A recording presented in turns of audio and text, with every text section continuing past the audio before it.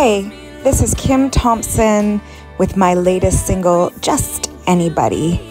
It's about never settling for love that is less than what you expect. And when you find love, to appreciate it, it really doesn't come along every day.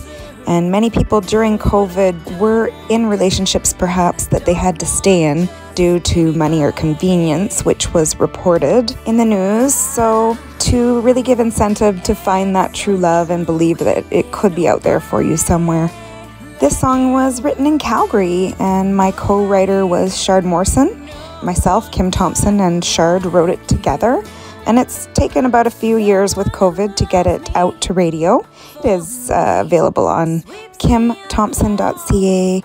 You can find me on Spotify and iTunes, as well as many other platforms. This is Kim Thompson with my latest single, Just Anybody.